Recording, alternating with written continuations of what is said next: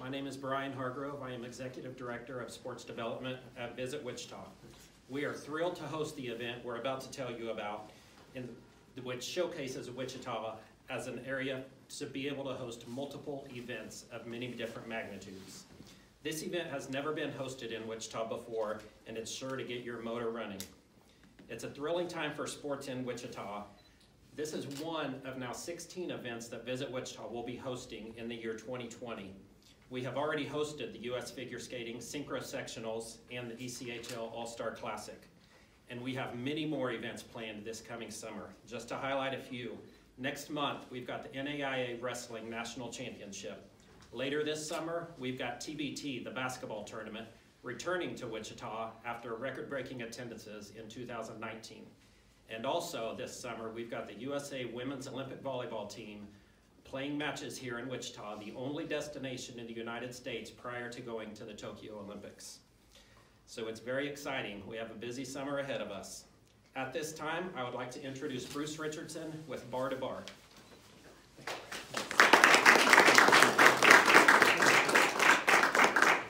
Thank you very much. Uh, for the first time in the history of the state of Kansas, we are excited to announce that Bar to Bar MX Park, in conjunction with Visit Wichita, has been chosen to host the 2020 North Central Rocky Mountain ATV MX AMA Amateur National Motocross Regional Championship.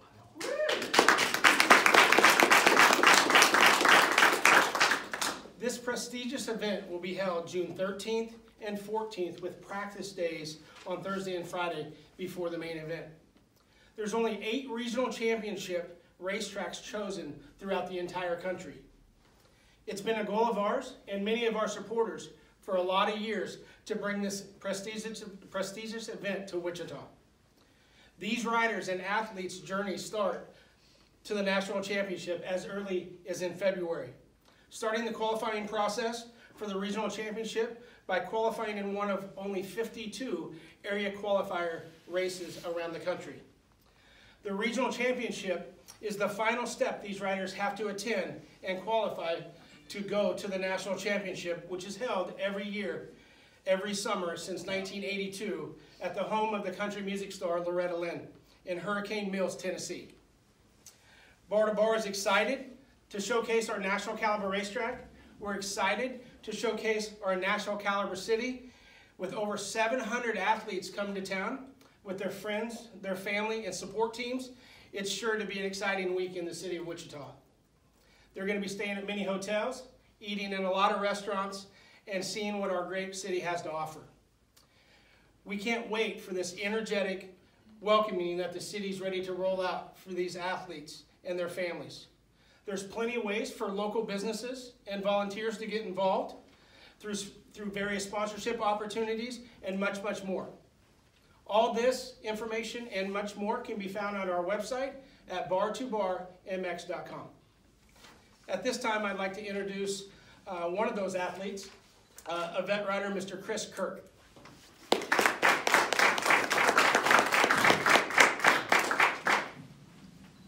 Good afternoon. Again, like Bruce said, my name is Chris Kirk. I run the starting gate at Bar to Bar, along with I've raced about 30 years. Uh, I'd like to thank the city of Wichita and Bar to Bar for giving us riders the opportunity to have this in Wichita for all the local riders. Uh, in the motocross community, this is the biggest stage you can be on.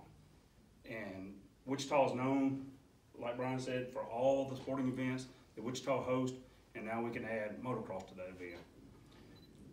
Being held, there's thousands of motocross tracks within the United States. And being picked as the top, one of the top eight tracks in the United States is a huge showing for the dedication and commitment that Wichita and Bruce and to Bar and their staff have to the of motocross. Motocross, to go to Loretta Lynn's, there's 36 classes that go to Loretta Lynn's that you can sign up in, from kids the age of four to people old as me over 50, and a whole bunch in between. So it is a very prestigious event. It takes 42 riders in each class. So there's thousands and thousands of riders who attempt to qualify. But if you do qualify, that means you come in, you're the top forty-two riders in the United States in your class. And there's also several countries that also represent, that come to Loretta Lynn's. So out of thousands of riders, if you were in the top forty-two, obviously that is a, that is a great, a great thing, a great accomplishment. I cannot stress the amount of time, dedication, money, support from families, tracks, sponsors, the city of Wichita, for these riders to make it to Loretta's. And it is a great honor to have it come to Wichita. Uh, we have a great city. Uh, Bruce runs a great track, so we're gonna have a great time. Uh, Everybody come out, it's gonna be exciting. See a lot of nice people, a lot of excitement. So again, come out, see it, it's gonna be a great time. Thank you.